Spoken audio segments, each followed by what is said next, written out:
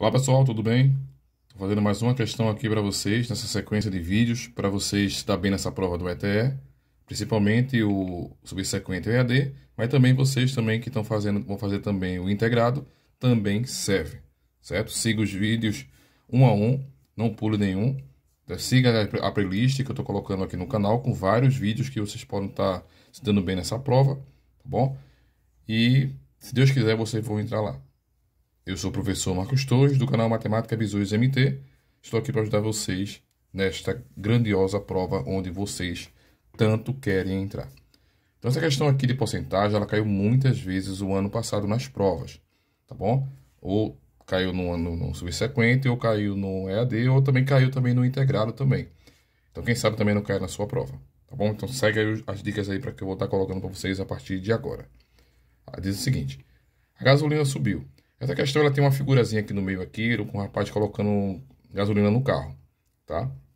Eu não coloquei porque não é desenhar, porque eu desenhando sou péssimo. Diz assim, ó. No novo reajuste, a gasolina aumentou de R$ 2,40 para R$ 2,70. O aumento percentual foi de quanto? Então, quando acontecer, tá um valor e ele passar para outro valor, em questões de porcentagem, que eu quero, que eu quero saber, como é que eu faço? Eu faço assim, eu uso um regra 3 simples normal. Então faz assim. R$ 2,40 é o total. Se é o total, ele equivale a 100%. Certo?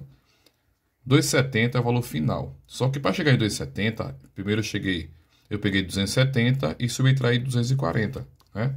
200, 270 não, 270 e subtraí de 2,40. Que vai dar encontrar 0,30. 30 centavos, foi a diferença do aumento. Então, é exatamente esse aumento que a questão ela está pedindo. Certo? Então, questão de regra de, de, regra de 3 com porcentagem é só trabalhar meio para os extremos direto. R$ 2,40 vezes x vai dar R$ 2,40x.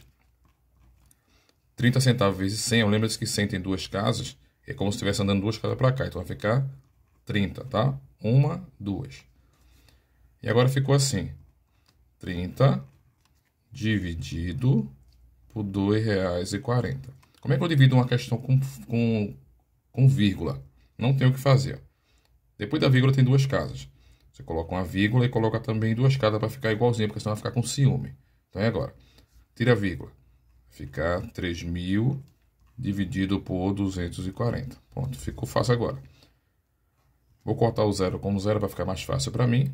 E agora ficou exatamente 300 dividido por 24. Fica mais fácil, né?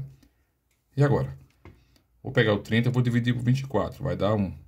1 vezes 24 é 24. Para 30, vai sobrar 6. É isso? Desce um zero. 60 agora. 60 tem quantas vezes 24? Então, eu posso encontrar aqui duas vezes, né? Que vai dar 48. 8 para 10 vai dar 2. Vem para cá. 5 para 6 vai dar 1. Não tem ninguém mais para descer. Você vai colocar um zero e vai colocar uma vírgula. 120 dividido por 24 na divisão vai dar 5. 5 vezes 24 vai dar 120. Para 120 vai ser igual a quanto? Zero. Então, isso aqui é 12,5% que a resposta vai ser a letra A. A de amor, A de acerto e A que vocês estão aprovados no ETE PE subsequente e no final do ano integrado também. Se vocês curtiram essa questão, deixa o like para mim aí se possível, não esquece e se inscreve no canal também para ser notificado de vídeos como esse que vão ajudar vocês a entrar dentro do ITE e quem sabe no ano que vem vocês estão lá vibrando que foi aprovado. Beleza? Até o próximo vídeo.